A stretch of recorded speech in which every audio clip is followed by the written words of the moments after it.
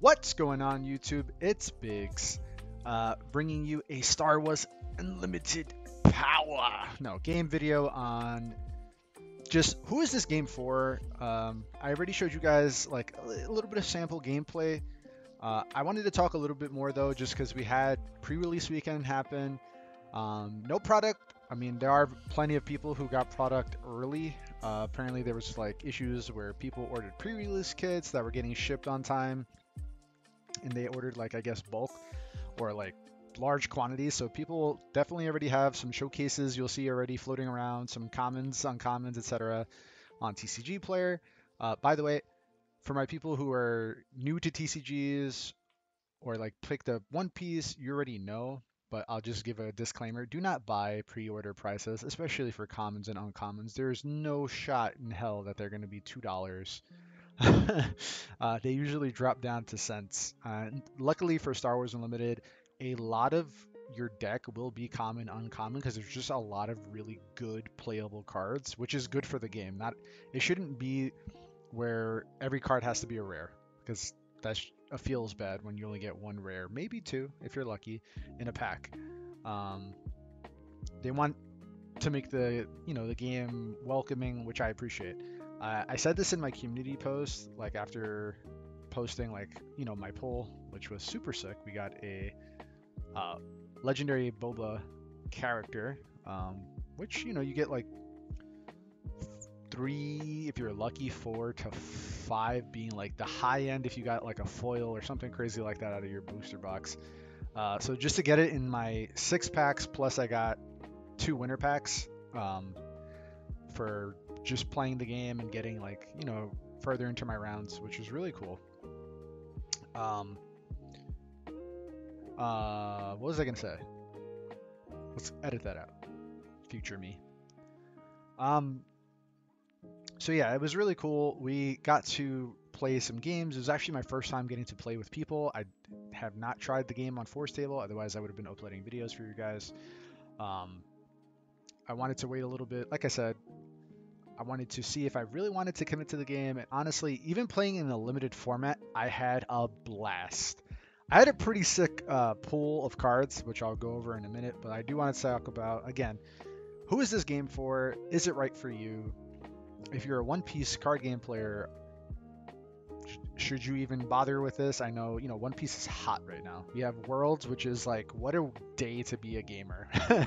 I had pre-release in the morning. Later on in the afternoon, we'll have or the evening we'll have our Worlds event taking place. The streams are going to be up.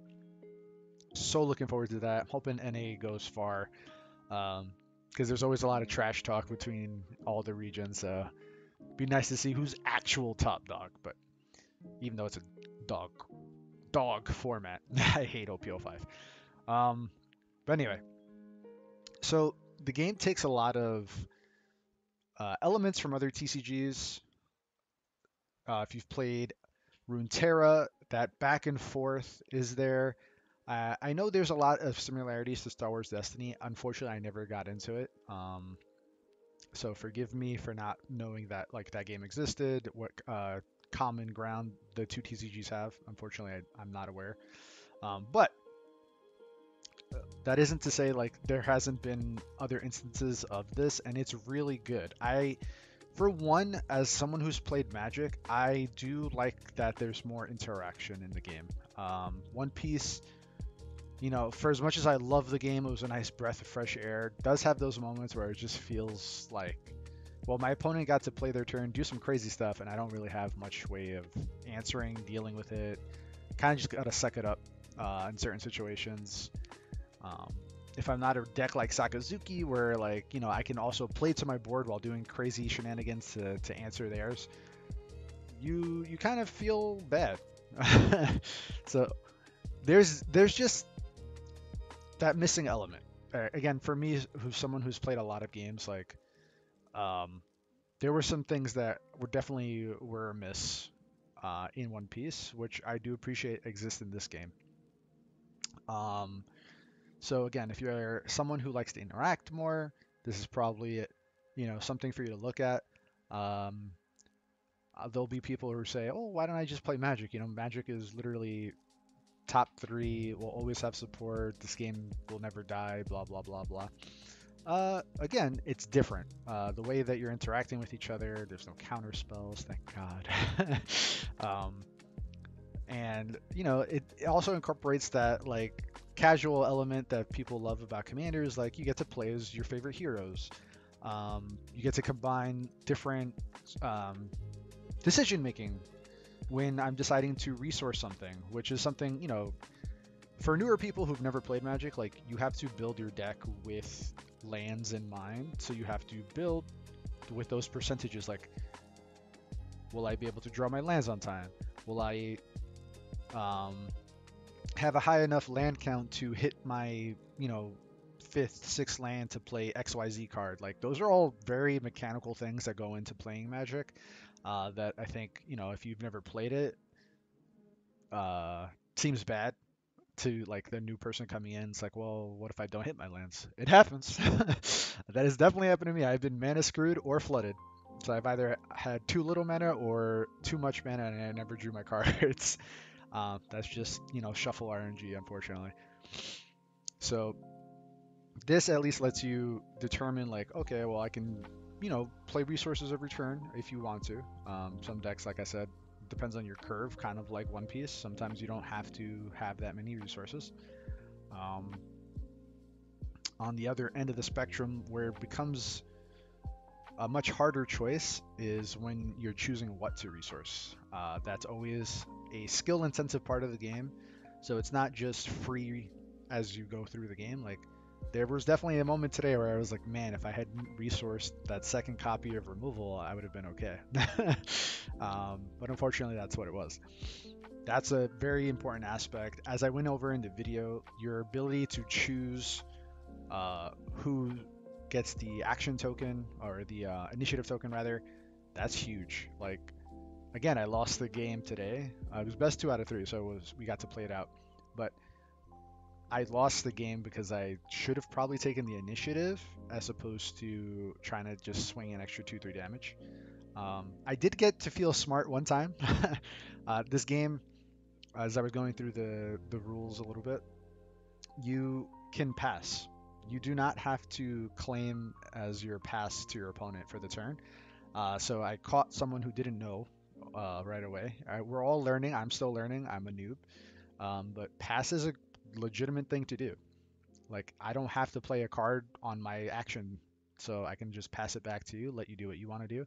He ended up attacking with a unit. I was like, yes, that means I can play my unit without having being traded. Because um, he had a bunch of three power bodies, and I had a, a four power guy, but only three health. So I was able to squeeze an extra four damage in before he can do anything about it. So again, uh, things like that are very, very important. Passing is very strategic claiming the initiative is very strategic. It adds a very big layer of strategy to the game that, you know, doesn't exist. Like, uh, imagine if Runeterra, I, I can go first a couple times in a turn or like in sequences. So, like, that's pretty good.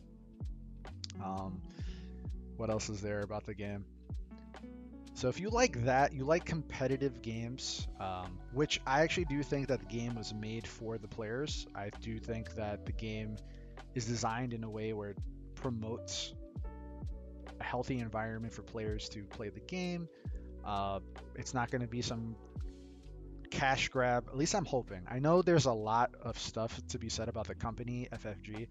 I know a lot of games they've had have even games that ran hot have lost their support after a little while. But I know that they've put a lot into this game um, as far as making sure product is readily available, um, competitive play, having different ways to play the game, which I think is huge. And I wish One Piece would wake the hell up and realize like casual formats are good. um, Twin Suns is a format where you'll get to play two leaders.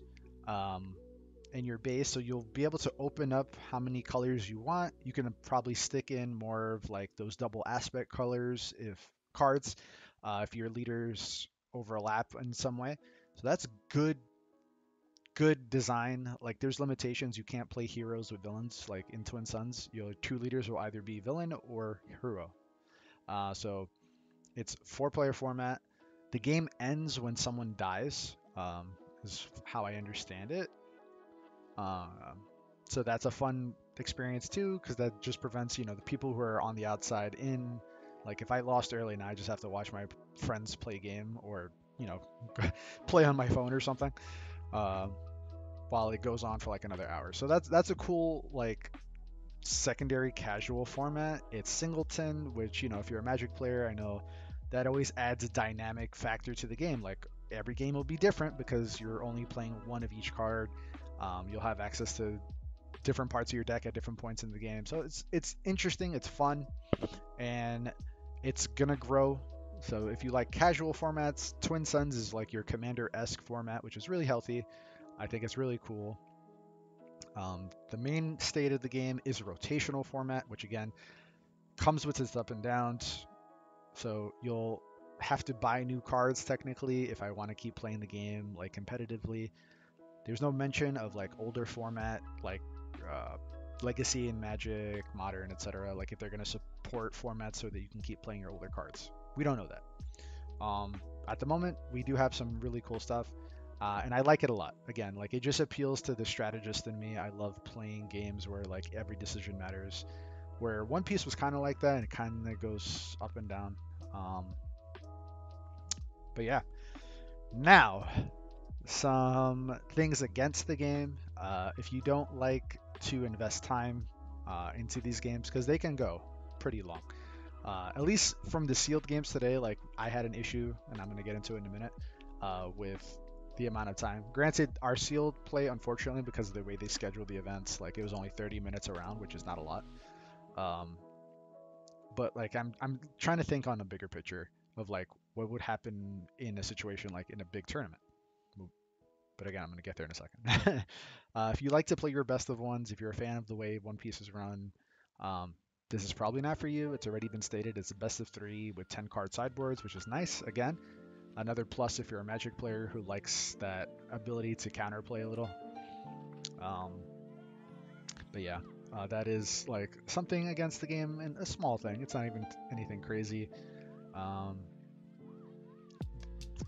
it is very strategic, but it is easy to learn. But I will say, like, if you're not putting in the time to um, learn the cards, uh, learn your matchups, because they're much more in depth than things like One Piece because again, there's no counterplay there. It's like you just reveal your leader and go from there. Um, now, the biggest problem I have with the game are the two big rules that got announced and kind of threw the community in uproar. Is in official events, you're only allowed to play with the officially licensed GameGenic playmats. I understand that there's a bunch of reasons why, I just think it's dumb. You can just outright ban any inappropriate material on playmats. Um, every card shop has that one guy for whatever reason has to have some, you know, adult theme, provocative stuff. You know, it is what it is, but that is supposedly, honestly, it just sounds like a cash grab. GameGenic is also in with Asmodee, the person producing the game, so it's like it's just two ways to win, I guess. but it's a little lame in my opinion. Uh, I think any officially licensed Star Wars maybe would have been a nice way around it for people who are coming in from like the older Star Wars card games, whatever. And then the big one, the one that cost me a game today, um, is there are no tiebreakers in this game. Um, if time goes and you're both 1 1, you're not tying, you're losing, both of you.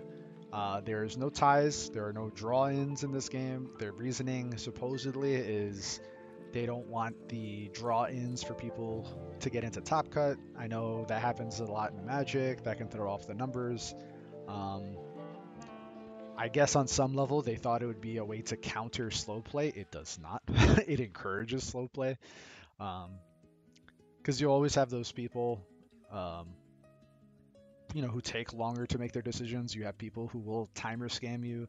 You'll have people who are losing on board states in game two and then decide to slow up. Um, and it just results in a, a, really awful situation. Like literally, I saw another player do it, and then I had to do it with my opponent later on in the day. where we had to roll a dice. Uh, we had no time. Again, our rounds were cut short, so we did not have the standard amount of time to play a best two of three. Uh, obviously, 30 minutes is not enough for any game. um, certainly not Star Wars. So, unfortunately, it is what it is. But um, I do want to say, like, you have to think, like, in a money situation, because they do plan to have very large tournaments for this going forward. That is the plan. I'm hoping it takes off. Again, I want this game to succeed. But that is that is bad. Uh, I think having some way to determine a winner in those situations is better than just a double game loss. Because um, then you just get in these situations where, like, why didn't I just roll dice?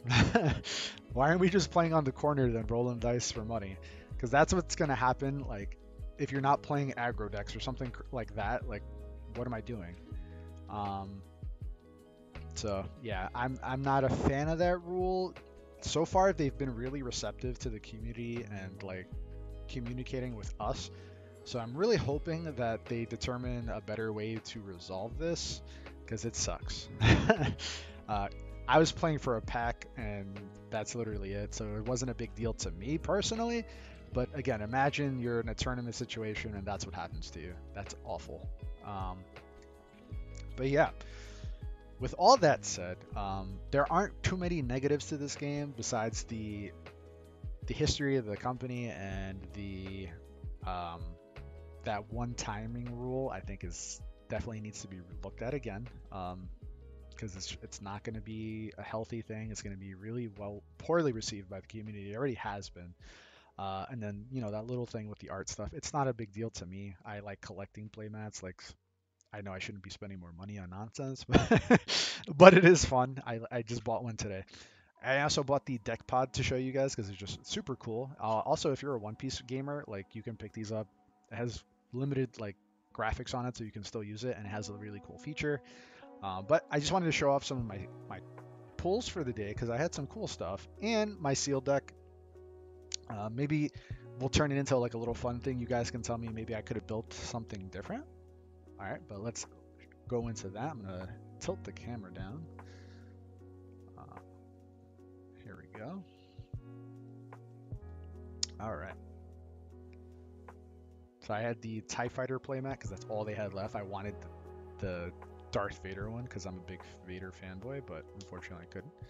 Um, but I had like the nutty, aggressive, like uh, red aggro build. I actually had a lot of good cards. Um, I had Green Squadron A-Wing, which is like one of the best cards. I had double Spec Force Soldier, which helped me like ignore blocker basically. Uh, if you guys don't know some of the keywords, um, he kind of takes away uh, blocker. I had double wheel and open fire for like removal options. I had I, I had to look for playables. This is where sealed kind of fails as a format. like sometimes you would need to find like five, six, seven cards to fill out your deck. Um, but yeah, I had pretty nutty early drops. My deck was very aggro slanted. I was playing Jyn red. Um, Jyn was like being touted as like one of the best leaders for like a limited format. It did okay. Um, I don't think our card pool supported it enough. Again, I was very low to the ground. Like if this was Sabine, I probably would have won all my games. um, but Jyn was okay. I just did it because I had a lot of the stuff in these aggressive colors, and I didn't have another leader to take advantage of this. Um, what else did we have? So we had a lot of the rebel um, or heroism stuff. I gotta stop calling it that because they're they're not all gonna be rebels. But I had a lot of the heroism stuff. Um, I had to plug in some stuff, good stuff from yellow, like crafty smuggler is an amazing two drop. Uh, comes in shielded, so it's just a free attack basically for trading. Uh, Green Squadron A-Wing, one of the best two drops in the game. Um, I was able to take over space a lot. I had a pretty decent space board most of the time. Like my opponents could not answer me uh, once I got going there. Um, a big part of the game, like you can choose which lane to commit to. Like if I was losing on the ground, which I normally was, because again, a lot of my early bodies are kind of little poopers that just sit on the board. Uh, and if they don't get their value early, they are not probably going to do much late game.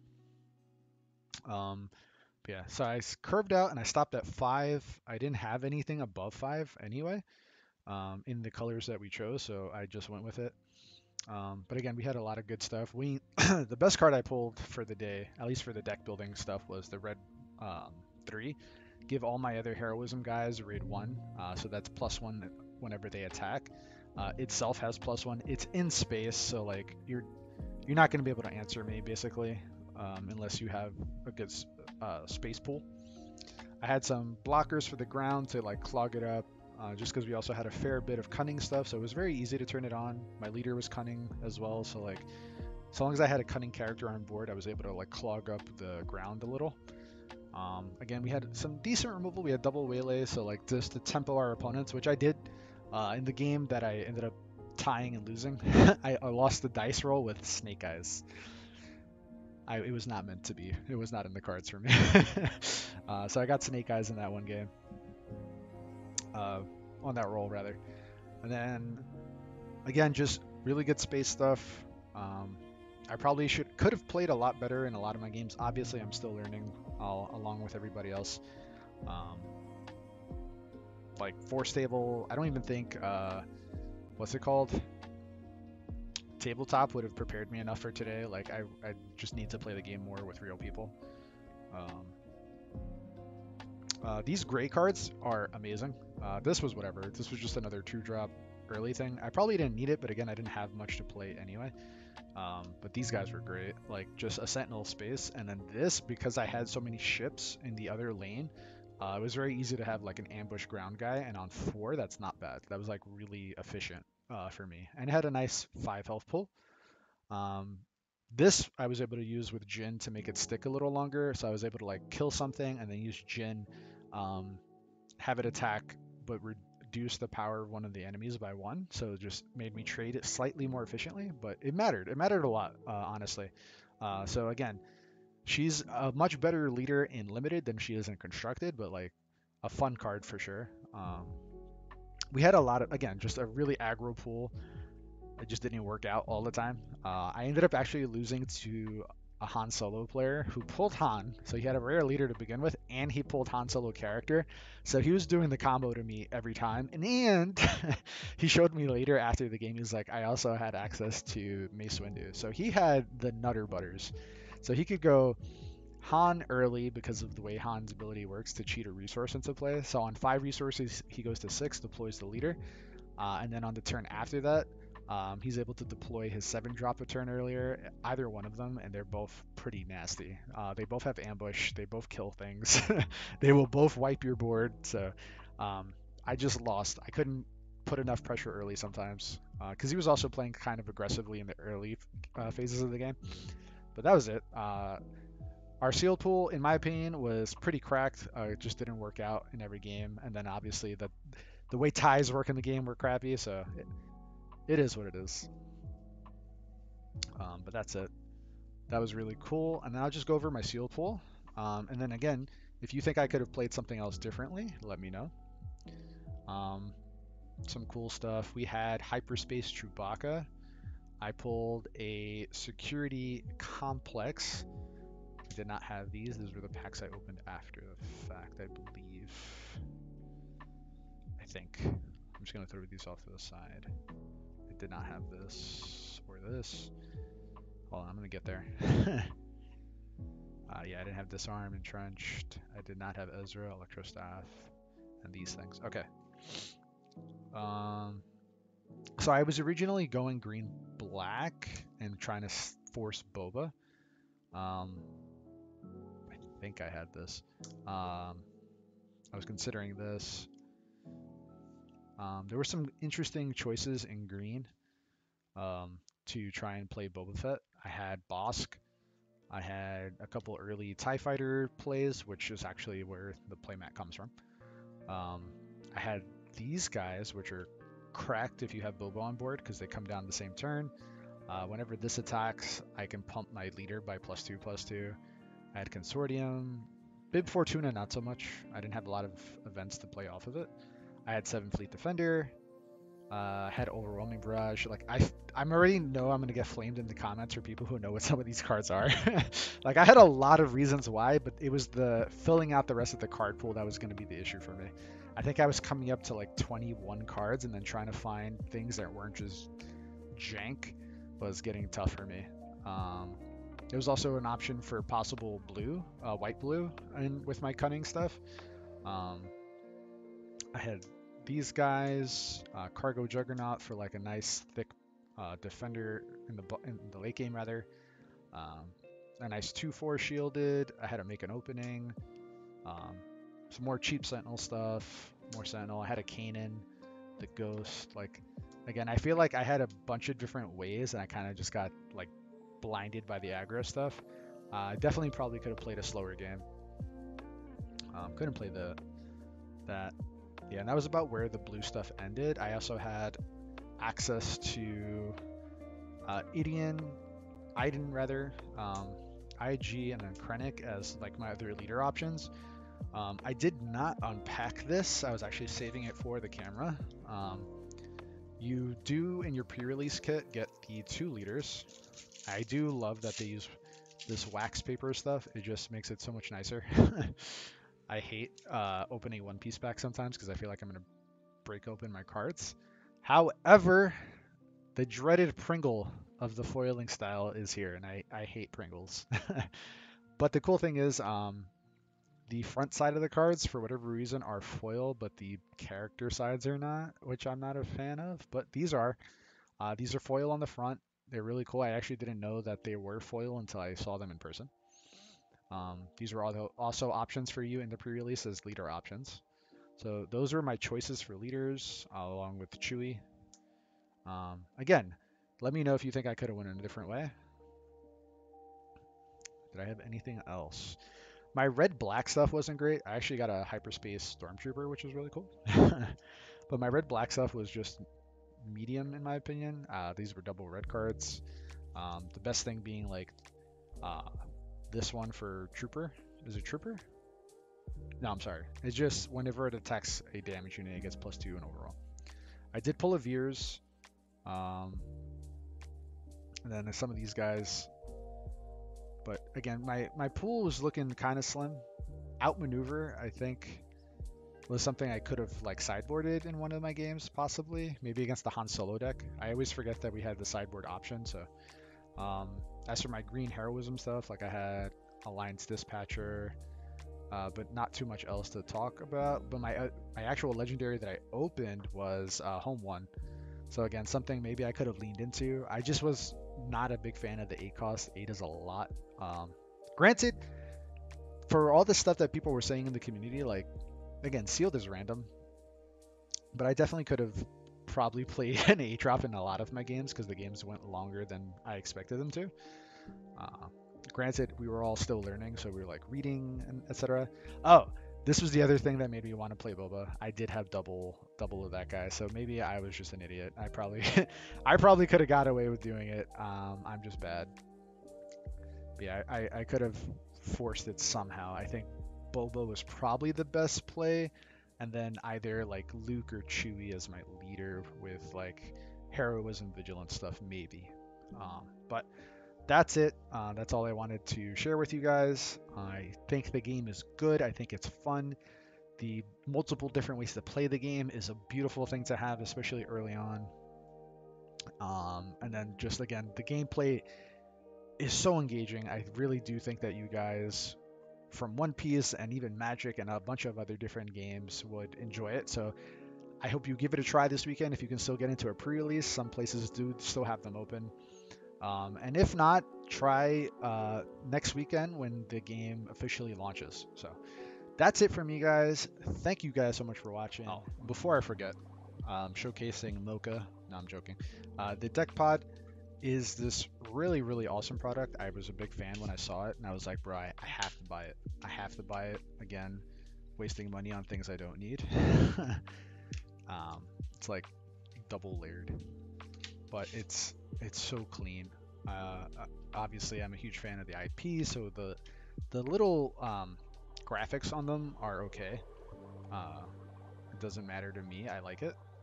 Um, they come in all the aspect colors, and each one will have the uh, symbol for each one. So I had villainy. Uh, again, I'm a Vader stan.